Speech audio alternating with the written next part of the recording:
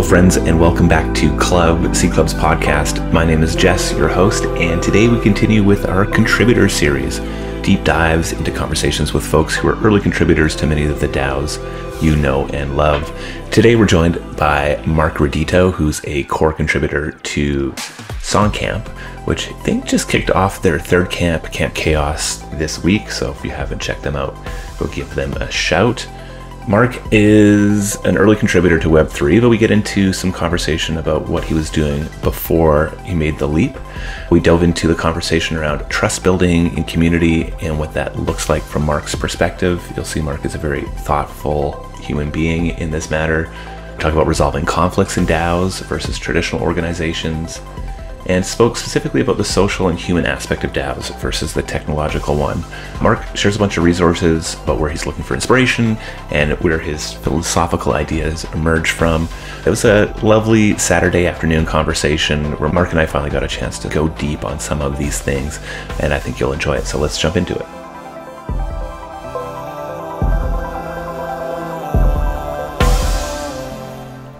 Welcome to Club. Thank you, Jess. Thank you. I'm so excited for this conversation because we've seen each other, we've hung out with each other, but haven't had a chance for a one on one. And so this is such a good space to do that. yeah, I think it's funny because I was thinking about preparing for this chat and I'm like, I'm not going to prepare for this chat because I think there's just like this abundance of raw material for us to get into. And yeah, know you from your work. A lot of people have amazing things to say about you. Obviously, big fan of Songcamp and the amazing work that's being done over there. So let's just kick off. How do you introduce yourself these days? Well, I introduce myself usually with the roles that I play or my interests. And so I would quickly introduce myself as an artist, a technologist, and a community builder, and also a gardener. So that's those are sort of like the this the containers that I sort of like share with people. All right. And where are you applying those containers these days? In pursuit of what? My main contribution right now is with Songcamp. I guess in Songcamp we call ourselves designers. And so my role is that of a community and operations designer. I think that with my background as an artist, I think that these roles carry a certain creative spirit in them, especially in the context of like Web3, where there's no playbook yet and we're all figuring out best practices. I feel like that's such a creative space to sort of like play in. I love that. I was describe my interest in business and technology as being a creative pursuit. Yes. I like that. Yeah, you're right. There's a lot of room for creativity in a space that is still trying to figure out what it is. And, you know, I think so much of like the the early attractiveness for early community members at a place like Songcamp has been sort of that environment, the freedom and openness and lack of certainty in how everything should get done and, and the type of people it attracts there. I'm curious, like, we zoom out a little bit before you fell into the Web3 rabbit hole. What were you up to? I would just touch on the key points that I feel like informed or influenced where I am right now. And so a lot of my youth has been spent in DIY circles, underground scenes, punk scenes. And so all my young adult life, I've been playing in punk bands, been interfacing with different subcultures, hardcore scene, underground electronic scene.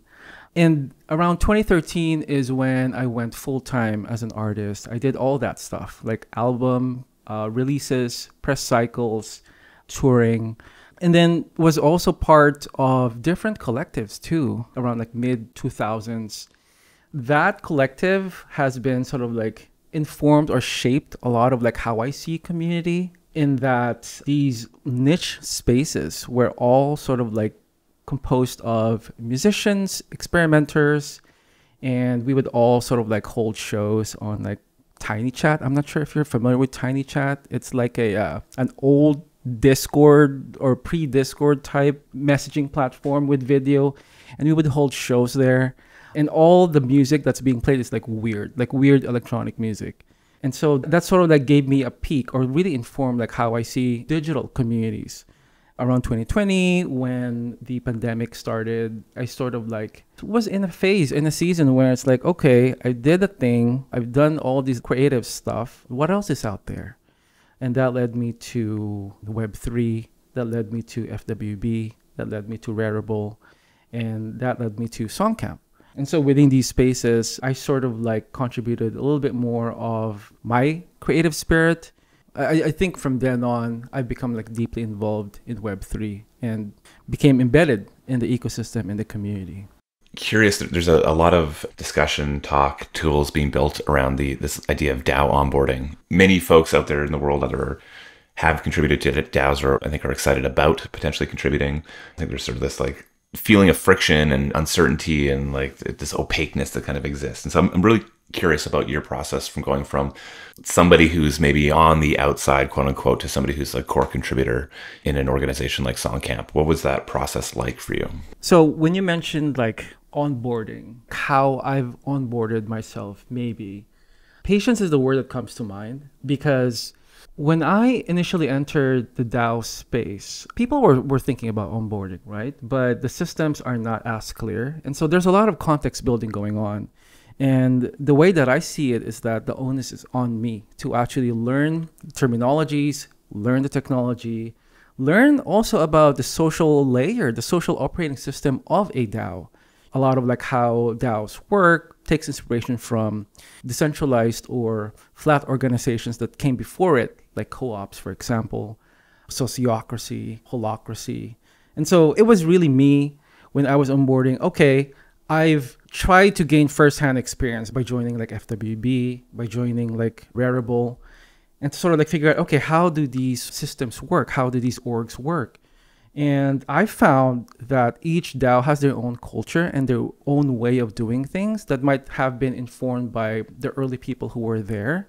And some came from like startup backgrounds some came from like corporate backgrounds some came from like nonprofits. And so it was really a journey of learning. And i think there's a tendency for us as dao operators and who think about inviting contributors in i mean there's a lot of value in making it easy making it accessible making it understandable but there's also a part there that the onus is also on the people coming in to actually build context and learn how these things work. And I feel like that also involves humility as well. That, oh, I don't know what's going on, but please take a seat. You know, it's okay. It's okay to be confused. I think most of us here are also confused, you know, so it's okay. You know, we're, we're in this together.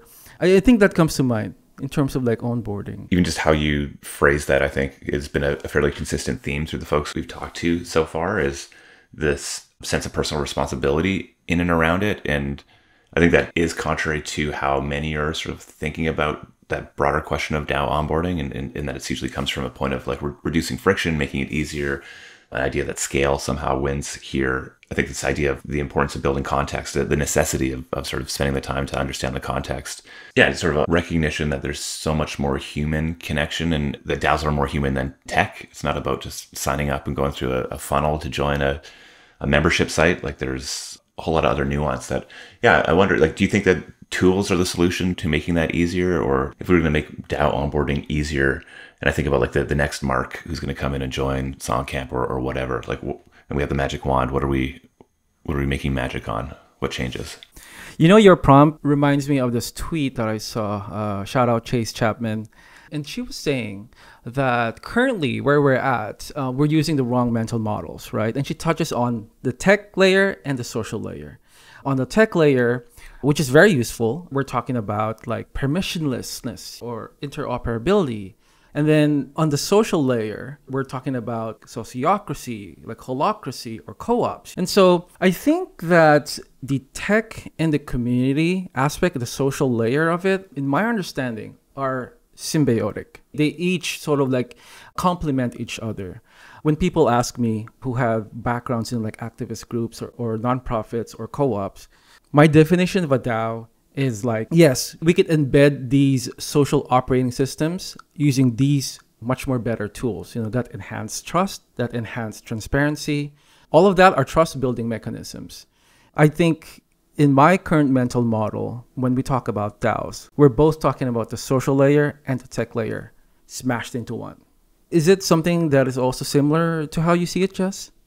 Yeah, I mean, I think that DAOs are organizations built on different rails, and organizations are a mixture of tools, tech, and, and, human beings. Something that really stood out of my conversation with Chase the other day, we're sort of starting to tease apart that technology versus humanity thing. And I think for the magic of DAOs to really come true, we need to be able to both lean into, like you're talking about trust building, so the social scalability of the technology of what blockchains provide, and also recognize that I think the further up the stack we get from the infrastructure layer, the more human beings play and, and probably should play. And so, like thinking through the, the more human interaction points with these organizations, I think the thing that's most exciting to me, and I feel like the majority of the barriers to that evolution of DAOs right now, they're not tech based. That solutions to those barriers will be tech enabled, but it's needs to come from both use cases driven from DAOs and human beings and majority of the friction points aren't technology based right now.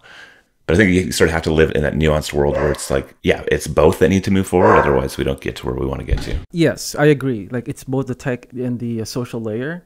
On the social layer side, dude, I feel like there is a sort of paradigm shift happening, which could be a high barrier sometimes.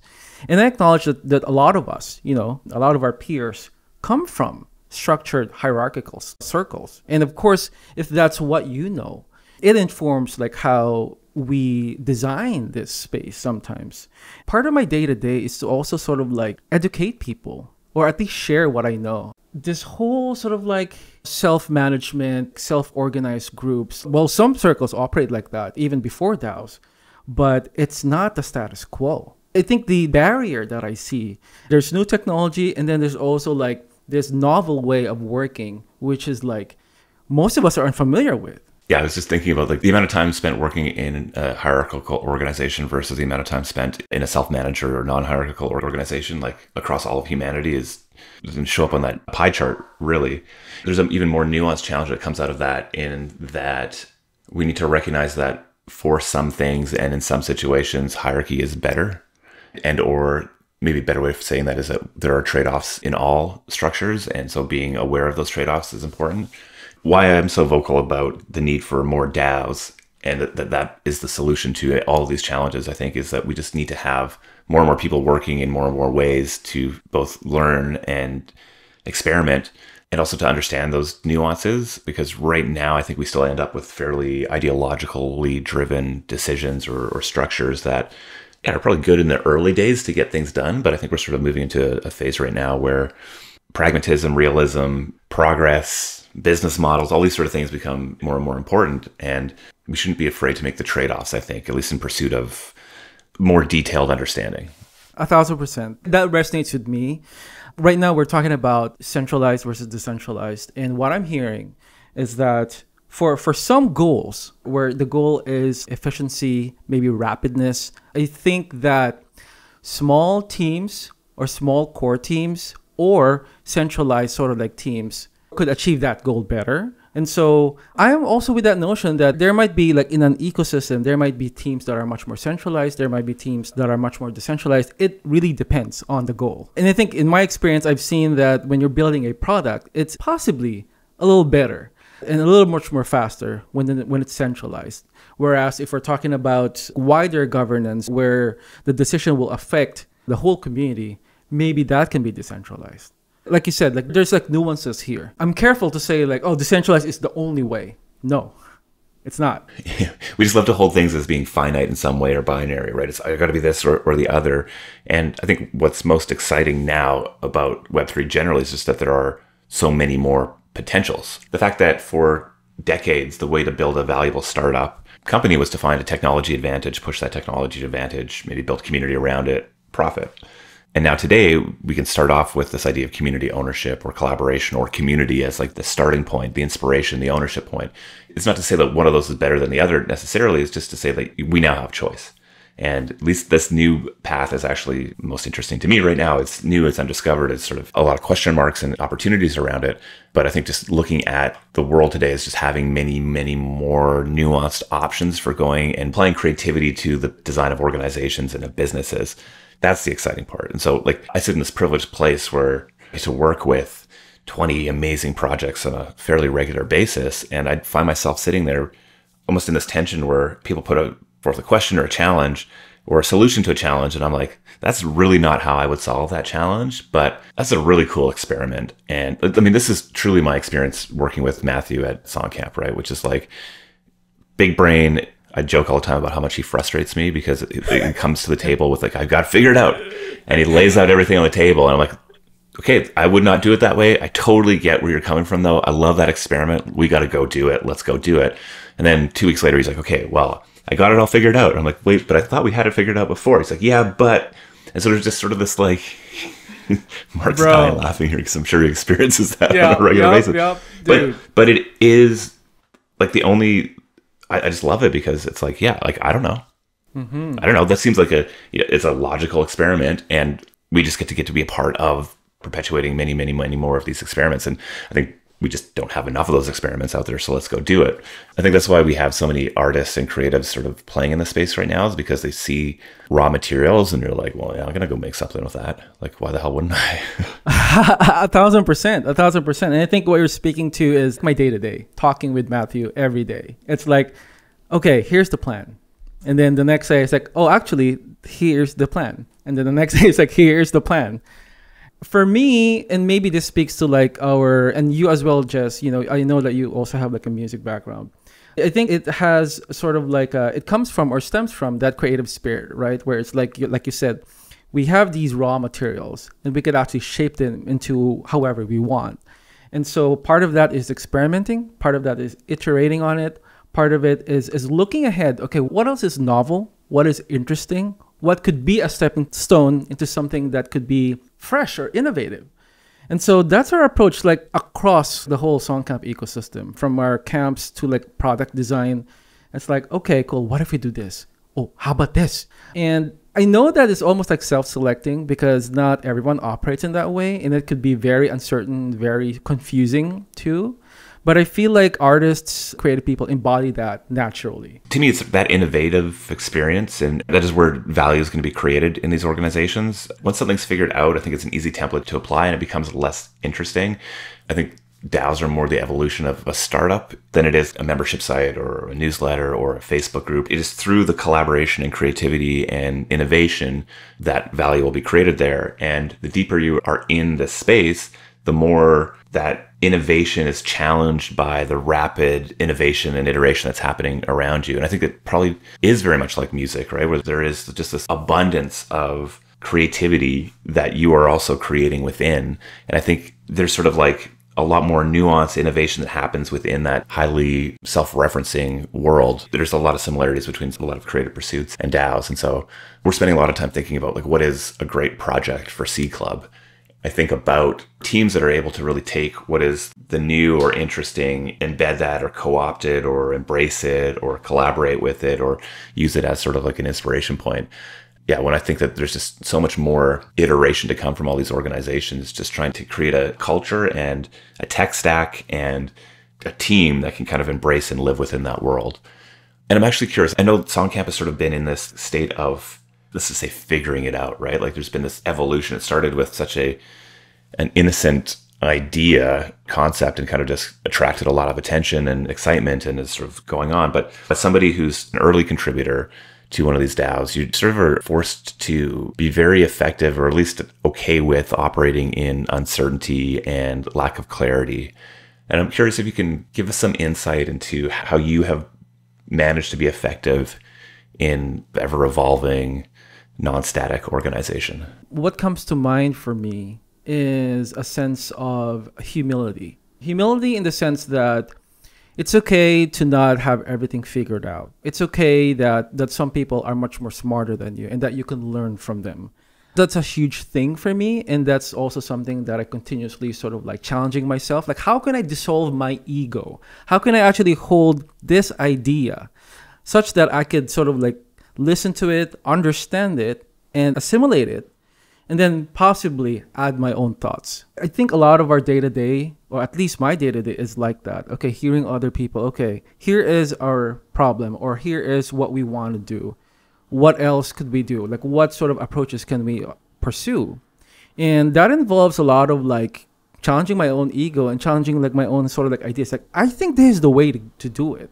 But then also like having that openness to sort of like actually say for example, Will, who was part of our community, is like, Will actually has a better idea, which is much more elegant, much more simpler. Why don't we do that? That's something that I've learned to really just like listen first and understand what, what's being said before you actually give your thoughts on it. Adaptability is another core value that I've learned being part of collective and distributed networks. Because if things are unknown, if things are uncertain, how can you sort of like have a mindset of sensing and feeling and looking ahead?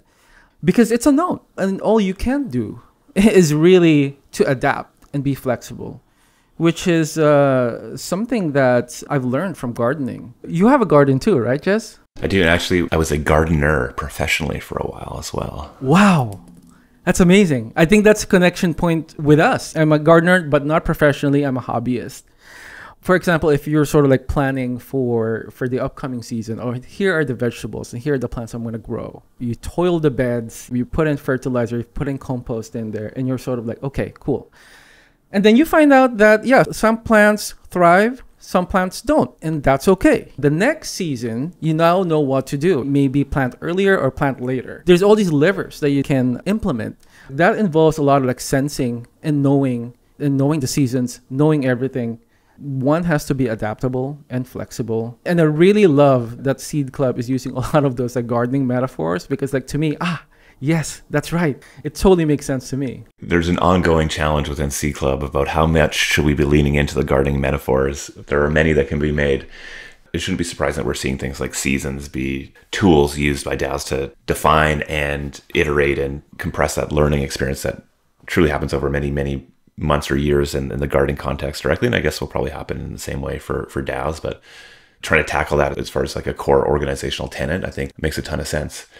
There's sort of like you know, so much of decision making, organization, authority to a degree within DAOs is based on social relationships that exist in there. And so I think there's this idea of flat hierarchy or hierarchy-less organizations. And I just don't think that that's the reality that we're seeing anywhere within within DAOs, whether that's articulated through an org structure or it is sort of emergent through certain people's abilities, their their time they're able to put in, the information they might have, etc. These sort of structures exist, and but there is sort of like this ideological drive and belief that fighting against that inherited belief around hierarchy, I think, is pretty consistent in, in most of the organizations I work in. And so the most important piece and what I'm kind of leading up to here is this trust in others in the organization as it's almost like a metric for how effective a team is going to be.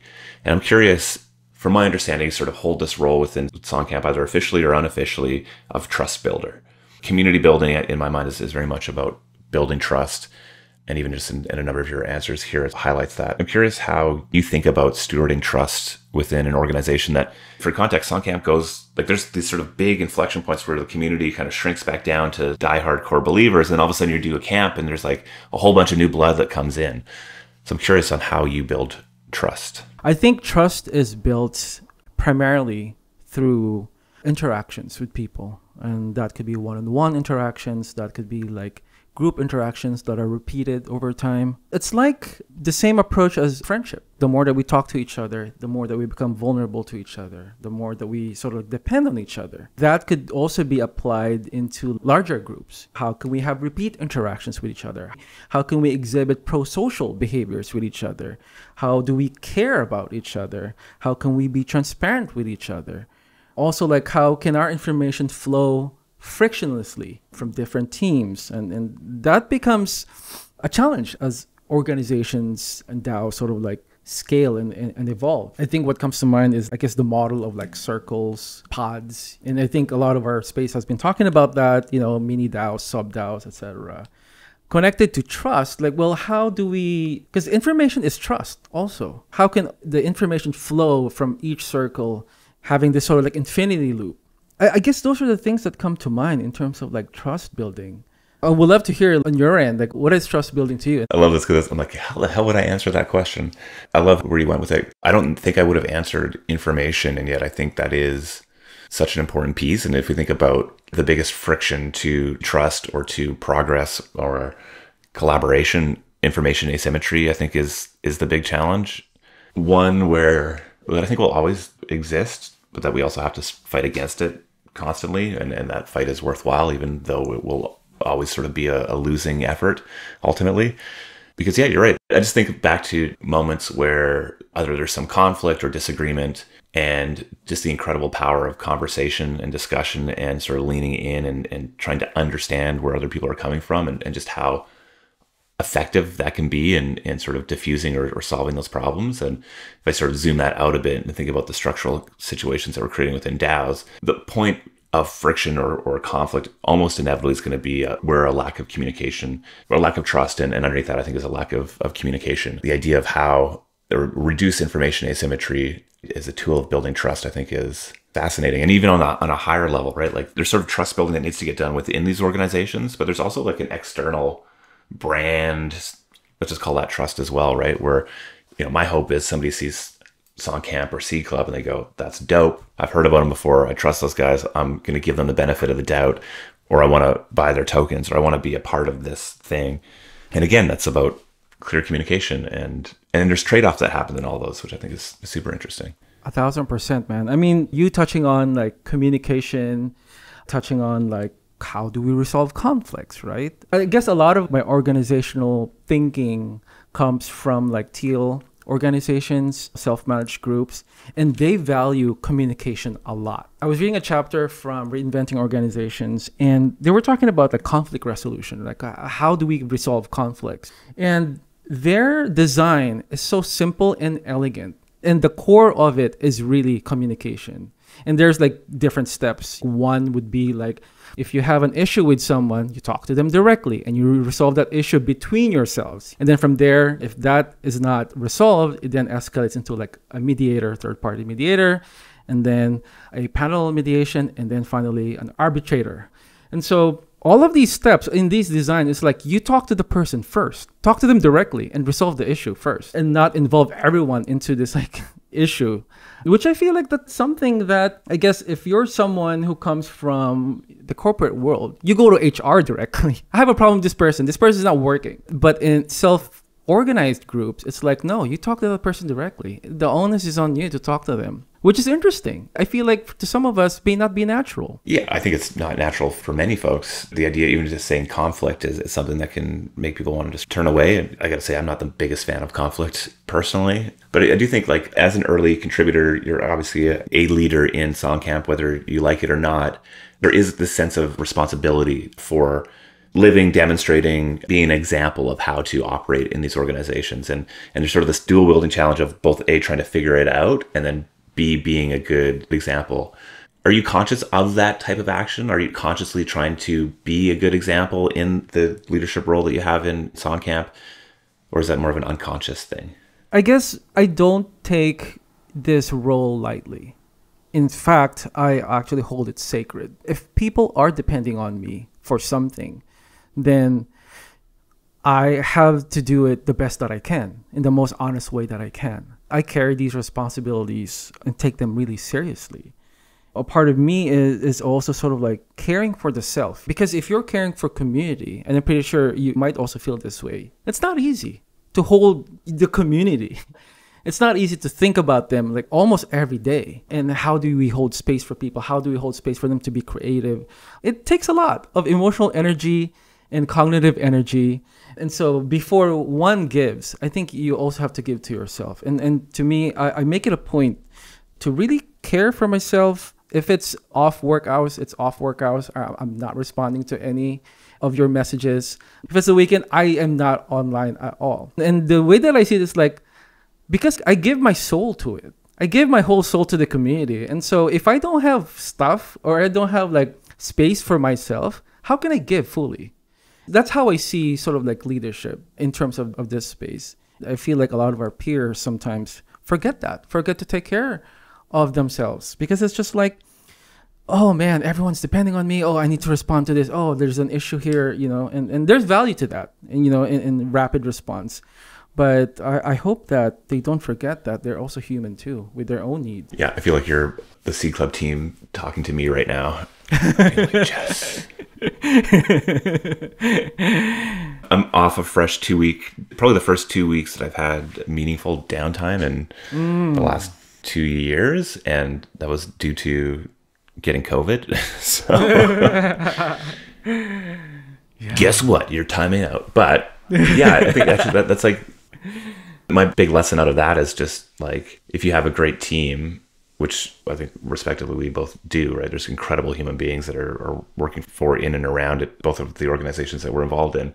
Guess what? Talented people can not only ensure that the train stays on the track, but actually better at many things than I am. To me, that's like the, you know, we talk about trust building and we talk about sort of like the role of leadership in these organizations. And that's really where my mind goes is, is in creating space. Space was given to me to be early in this thing. And now I have the opportunity to give that space to others and they have the opportunity to create that space for others. And so, you know, this idea of, I mean, we, we call our, our team leads stewards specifically because their goal isn't to make the decisions. Their goal isn't to get the things done. Their job is to create the environment in which those decisions get made and those things get done and the information gets shared and, and, and we're able to kind of come together as this ever growing collective of collectives that are aimed towards the, the same thing. And so whether on, on purpose, which I think I, I have done, but also accidentally due to being sick, you sort of create the space and people step up into that space. And I think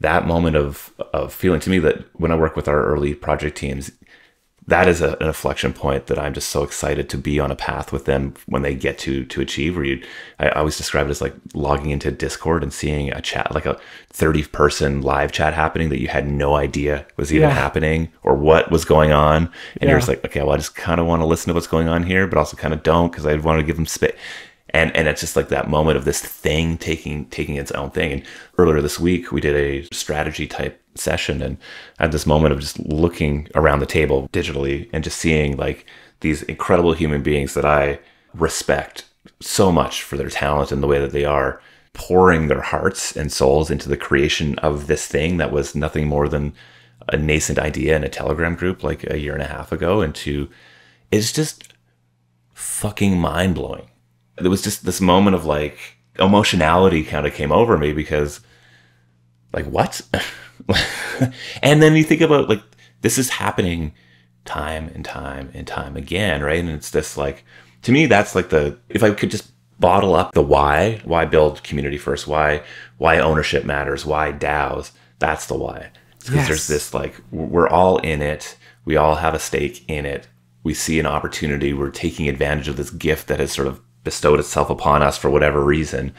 And there's this mutual respect and, and appreciation that yeah, it's just so incredible. Thousand percent. It's like when you touched on that experience of yours, like seeing your team actually gathering together and actually making their own decisions.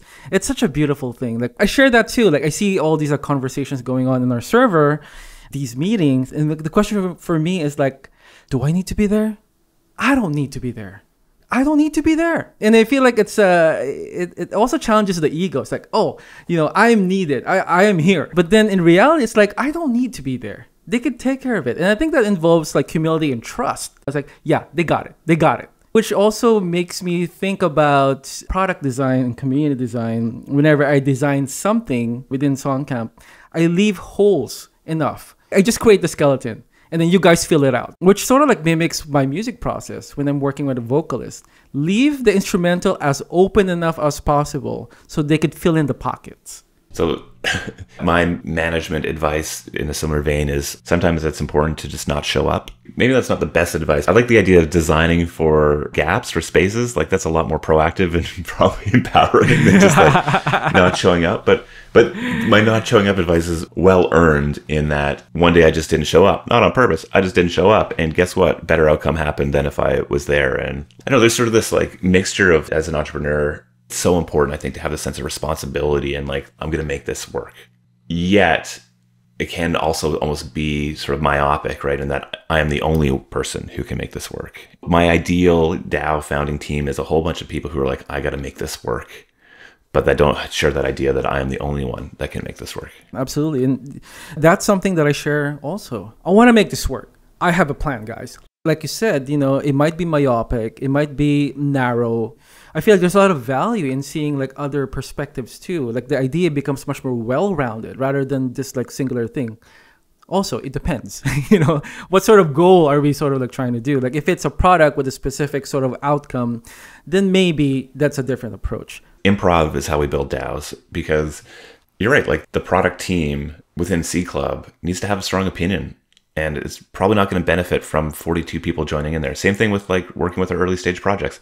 Throwing a thousand human beings at early stage projects is not remotely useful, right? But throwing the right three people is incredibly useful. And so, so much of the, the that sort of figuring out and the complexity of it all is that we need to have both of those types of things operating in a similar environment and being cohesive. And I think that's sort of where, where the, the superpower comes from. Because I think about those DAOs that are building much more product team centric and, and yeah, we get to work with a number of them. There's some great ones out there. They're creating great products. Would those products be more powerful if community felt like they had a meaningful ownership or, or say in it? Probably. The big question in my mind is just like when and how. And I think that's kind of where we're we're sort of doing that dance right now where there's this two distinct like we're going to build community first community decisions collective etc and then there's like no we're going to have a strong opinion we're going to you know make a lot of progress and at some point those things are going to cross over into sort of the opposite sides of you know one building community first and one building product first. And i think the integration point is really where most of the value gets unlocked but i don't know when or how that should be done. And i think there's just a lot of experiments in that pursuit right now which is exciting. It's interesting because it reminds me of FWB. When you said that organizations or groups need to have an opinion, and I could sense that there are groups in there within the DAO, within FWB, that have clear opinions. Like this is what it should be. Say, for example, editorial. Here's how it should look like, and here's the, the voice that we're, we're using. And I feel like that's an opinion. And here are the topics or things that we're going to talk about and that's really valuable even with art too like curation is important in music as well curation is important does, does it actually have a narrative that is aligned to say the collective say for example if you're a label that is known for say weird electronic music then it has to have an opinion. You, you, you like when you create a playlist it, it's not always just like random stuff. It needs to be something that's like cohesive and tells a story. That's what comes to mind when we talk about that. One of my meme sayings that gets parroted back to me often is I have an opinion because I apparently have a lot of opinions. And I think, yeah, this last week in Seed Club has been really about appreciating strong opinions, like how valuable strong opinions are if they're held in the space of respect and collaboration. I've been really thinking about the importance and, and the methodology around encouraging those strong opinions more broadly. Demonstrating that a little bit because I think, like, I know people have strong opinions how do we make sure that we get them out because they're not useful in our individual heads that's where structure and methodologies really need to start to, to come to play i think to to create the spaces for that to happen and so again coming back to like you know, where, where is like the unlock happen in the space i think it, it is you know you mentioned self-management quite a bit i think there's just an immense amount of, of learning and experience that still needs to be adopted by some of our early organizations in the dao space that really lean into the, the social and human aspect of this stuff and then build dope tools around it. You know what comes to mind is like a governance practice called like consent-based governance, which I think is being applied by a lot of like sociocratic uh, organizations. And the the main core of consent-based governance is not asking for consensus. It is asking if I present an idea to you, I present a proposal, I am looking for objections to it and identifying where the objections are, articulating it, naming it, and then the onus is on the objector to actually make this proposal better it gives a lot of like responsibility to whoever is critiquing. Yes you can have a strong opinion. Yes you can critique it. Yes you can object to it but how can this be better? And i think the main goal for consent-based governance is that is this safe to try guys? Uh, of course you know not every dao decision needs to be like that. But I feel like for for something that involves like rapid deployment, that could be something that we can use in our space. I'm curious, like, like you are somebody who engages with the philosophy, ideology, um, the the thoughtfulness, I guess, in, in the space. I'm curious, what are some resources, or where are you looking for inspiration these days? I do read a lot of books, and most of the books that I've been reading right now are in org design. And so reinventing organizations is one. I first heard about that book over at MCon, which I think we you also spoke there. Um, my mind was blown. It's like I need to get this book. I need to get this book. And so that whole book, uh, I feel like is almost like a Bible to me, or at least a jumping off point to see like what other sort of like novel ways of being together and being in community together, of working together. That has become like like a source of inspiration for me. What else have I been sort of like reading and consuming right now?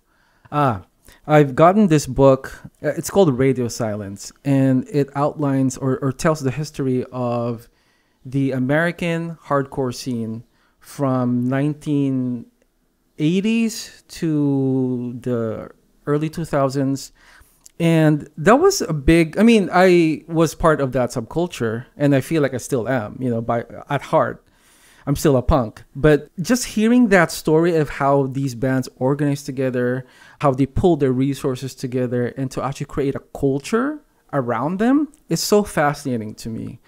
So that's another point of like inspiration. I, I love that because I, I think I have this, these moments every once in a while where I just sort of start laughing at the game that we're playing here because you know there, there's so much being able to see like a, a, trend before it happens, see all the things that go into it, and then all of a sudden seeing it hit big is such a, a crazy experience. I think NFTs were a very clear sort of packaging of that for me, and and then you can sort of start to see those early stages starting to take shape again right now. And not as if they're predictors necessarily but you can start to see like the initial energy or, or materials that could go into that right? And everybody playing the game playing their role playing sort of this explorer slash promoter slash speculator slash long-term investor slash creator i think that's fascinating. And, and can imagine that book captures that sort of experience well. I've heard a number of people sort of refer to the punk scene and as, as sort of like a an inspiration or at least like a, a gateway into the space. And I've always enjoyed my conversations with those folks. So yeah,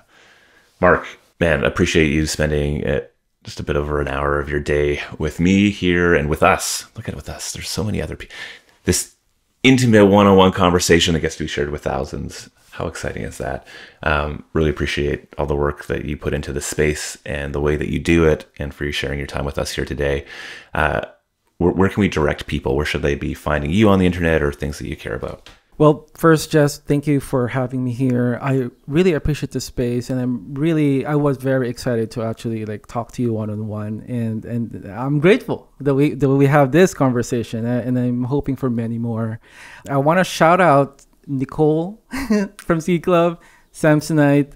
I feel like we share, you know, within Seed Club and Songcamp, we share like members, and so this feels like family, and so I want to give them a shout out. Where can people find me? Twitter at Mark Redito. And then uh, my website, markredito.com. I have like a digital garden in my website where I sort of just explore fragments of ideas, pieces of music, etc., etc. And of course, you have a Wikipedia page, which everybody should go check out and make ridiculous edits to. Didn't even realize that. I'm like, Mark's got a Wikipedia page. Who even is it? Like, there's who even is this guy? your Instagram image. I'm just I'm dying here. So yes, go give just Google the Mark Mark Redito on the Googles, and uh, well, you'll have at least minutes of entertainment, maybe hours. Uh, Mark, appreciate you again, man, and uh, look forward to seeing you on the internet. Thank you, Jess. Folks, before we go, we made a little thing. It's called the Seed Club Job Board. I feel like that undersells it a little bit. This is a touch point for us to make all sorts of work and collaboration experiences from within the Seed Club ecosystem available to you, dear reader. It's at network.seedclub.xyz. That's network.seedclub.xyz. You should go check it out right now if you're a part of the Seed Club network. Let's get some jobs up on this job board. If you're looking for a way to contribute to some of the most exciting social DAOs out there, network.seedclub.xyz. Go check it out.